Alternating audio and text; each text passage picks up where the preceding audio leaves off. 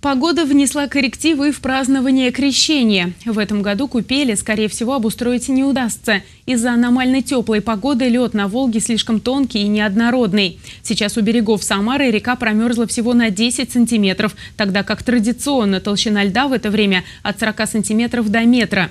Сейчас городские власти вместе с представителями Самарской епархии, полиции и МЧС решают, как быть в сложившейся ситуации. Не надо думать, что 10 сантиметров на нем можно остановиться. Сейчас я всех, кого знаю, они э, просто боятся на него наступать. Потому что вода сверху э, очень э, Волга играет, и вот эта постоянная заторошенность, постоянное движение этого льда, она не дает в этом году провести нормально вот этот праздник, как мы обычно проводили, рубили майну, и люди находились на льду.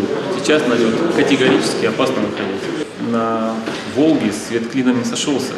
В этот день я слышал, и так говорят, что вся вода святая. Сотрудники поисково-спасательной службы ежедневно мониторят толщину льда на открытых водоемах. Желающих идти на тот берег сейчас практически нет.